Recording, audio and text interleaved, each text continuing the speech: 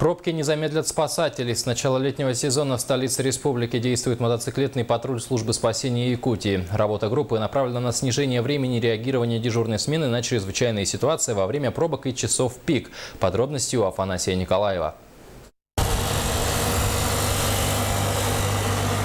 Ямахи пробки не помеха. Дежурный Арсен Федосеев патрулирует улицы столицы. На 120-кубовом японце спасатель спокойно лавирует между потоками машин.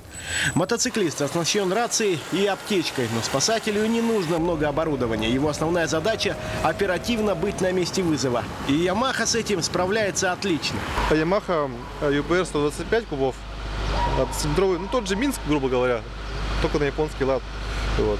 И он лежит очень легкий в управлении, можно поездить между ряди, между машинами и как бы можно ну, доехать очень быстро до места происшествия. Мотопатруль создан как усиление для дежурной смены службы спасения. Даже под мигалками у вас спасателей не всегда способен быстро пробиться через трафик. Мотоциклист же в считанные минуты доедет до точки, начнет оказывать помощь и даст информацию с места ЧП.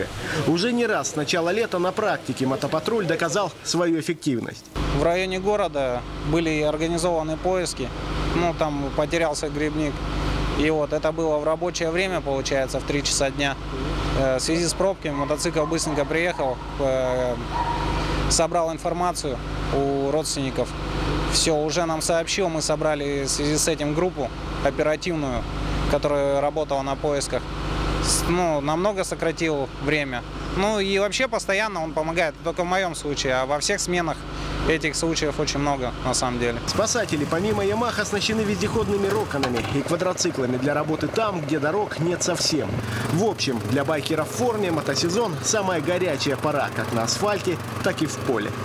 Афанасий Николаев, Иван Семенов, НВК «Саха», Якутск.